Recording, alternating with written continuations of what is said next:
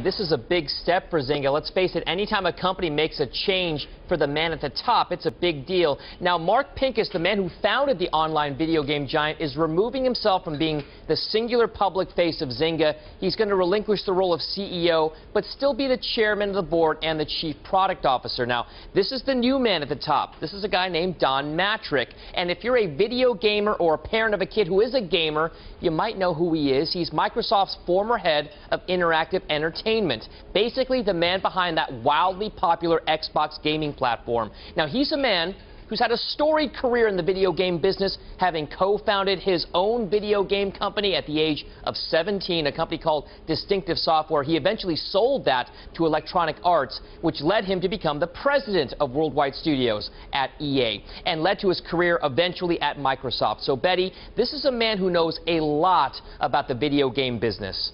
And Dom, he's definitely got the resume for the top job at Zynga, but he's got a tough job ahead of, uh, ahead of him as the CEO. So what are the first things he needs to do? Well, I mean, but Betty, Zynga is no longer the king of the hill when it comes to games on Facebook. That title now belongs to King.com. The company behind games like Candy Crush Saga, according to online firm app data, King.com now has about 150.4 million monthly users, beating out Zynga's 150.2 million. Now, Mattrick will also need to work on attracting customers who like their gaming experience on smartphones and tablet computers. All of this to help stem a 70% drop in the stock price since its IPO back in December of 2011. So, Betty, when you look at the chart, yes, Don Mattrick has got a nice resume, but overall, he's going to have to do a lot of work to get back to that $10 IPO price. Remember, Betty, this is a $3 stock right now.